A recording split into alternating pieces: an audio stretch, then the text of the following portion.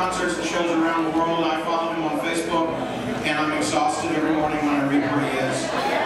Um, he also, like myself, uh, works part-time uh, at Graceland, uh, sweeping up. We, we do things in the, when the house is closed, we sweep up and vacuum.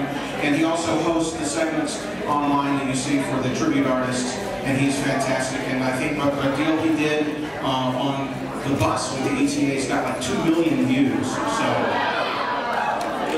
know the lady is watching it 2 million times, but you can watch some of mine sometime too. Um, he's also starred uh, with Bill and Jay in the, uh, the Elvis touring show. He's an ultimate champion. And, but here's the cool thing about our, our performer. You've seen him do his show around where he talks about his musical influences and he does songs by all of them. Um, he wanted to do a special version of his show just for you, and I wanted to let you know what his thinking was. We are Elvis people, except for those people talking. We are Elvis people. They're not the Bar Mitzvah, so I'm sorry. This is it's down the hall. It's the next room.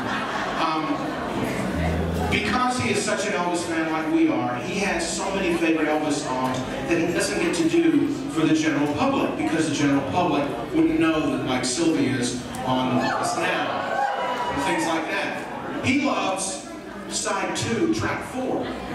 He loves side one, track six. So tonight, his selection of Elvis songs just for you because you get it.